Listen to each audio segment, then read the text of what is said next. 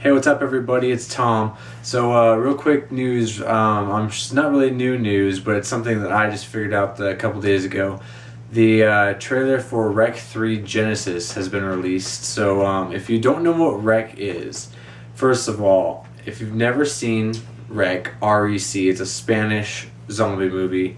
Um, basically, if you've seen Quarantine, Rec is the original version of Quarantine if you don't know that, you know, if you've seen Quarantine, go check out Rec. I seriously, it is in Spanish. You have to watch subtitles, but if you haven't seen, I highly recommend that you go check out Rec and Rec Two. Both fantastic films. So if you haven't seen those, but if you have seen those, the trailer for Rec Three Genesis has been released.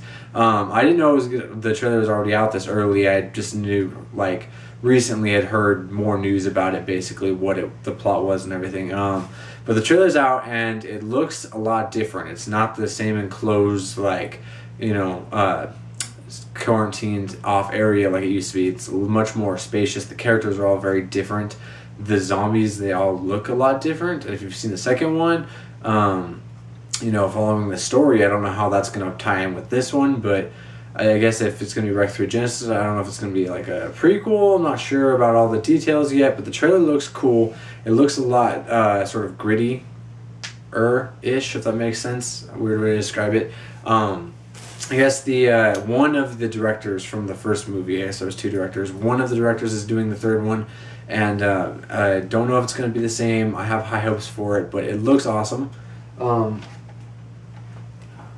stay, stay.